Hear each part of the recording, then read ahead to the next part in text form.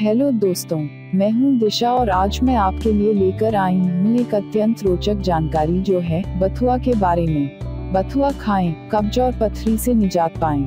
कृपया इस वीडियो को पूरा देखें ताकि आपको बथुआ के बारे में पूरी जानकारी मिल सके। हरी पत्तेदार और पौष्टिक सब्जियों में बथुआ का नाम भी शुमार है। बथुए में मौजूद पोषक तत्व आपको कई बीमारियों से निजात दिलाने में मदद करते हैं, साथ ही शरीर को पोषण भी देते हैं। यानी यह केवल स्वाद ही नहीं, बल्कि सेहत के लिहाज से भी बहुत फ़ायदेमंद होता है। बथुआ कई औषधीय गुणों से भरपूर होता है। डॉक्टरों के मुताबिक बथुआ को खाने में किसी न किसी रूप में शामिल ज़रूर करना चाहिए। यह स्वास्थ्य के लिए काफ़ी फ़ायदेमंद होता है। इसमें आयरन प्रचुर मात्रा में पाया जाता है। इसके साग को नियमित खाने से कई रोगों को जड़ से समाप्त किया जा सकता है। इससे गुर्दे में पथरी होने का खतरा काफ़ी कम हो जाता है। गैस पेट में दर्द और कब्ज की समस्या भी दूर हो जाती है। इस वीडियो में हम आपको बता रहे हैं कि कैसे बथुआ खाने से पथरी और कब्ज की समस्या से राहत मिलती है। आइए हम आपको बथुआ के गुणों के बारे में बताते हैं। बथुआ खाने के स्वास्थ्य लाभ। एक, पेट के कीड़े मारने में मददगार।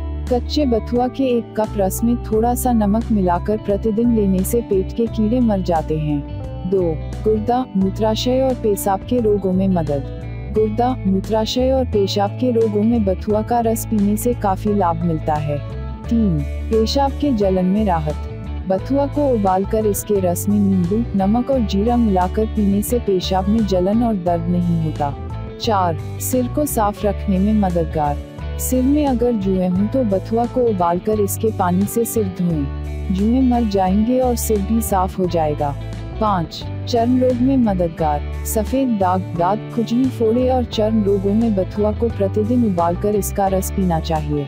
छह, मलेरिया, बुखार में मददगार, बथुआ का रस मलेरिया, बुखार और कालाजार संक्रामक रोगों में भी फ़ायदेमंद होता है। सात, कब्ज में राहत, कब्ज के रोगियों को तो इसका नियमित रूप से सेवन करना चाहिए।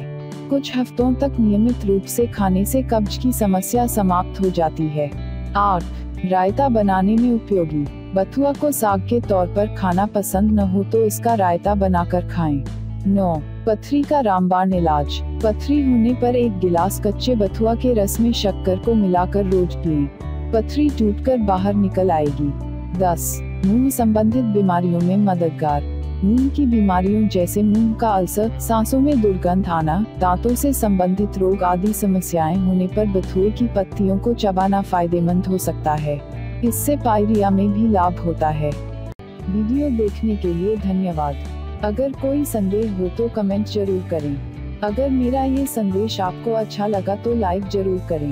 किसी और जरूरतमंद लोगों को ये संदेश ज़रूर शेयर करें ताकि और हाँ सब्सक्राइब करना न भूले जिससे कि आपको स्वास्थ्य संबंधित जानकारी मिलती रहे। मिलते हैं अगले ऐसे ही स्वास्थ्य से जुड़ी जानकारियों के साथ। आप रखें अपना ख्याल। अलविदा।